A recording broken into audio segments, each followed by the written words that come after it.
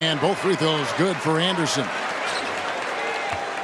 Now the Bulls with it. Jordan dishes to Rodman. Fourth quarter of play and over three and a half minutes have gone by. And the dunk by Jordan. No doubt about the brilliance of Jordan as a player. Outstanding at knowing when to go get that alley-oop.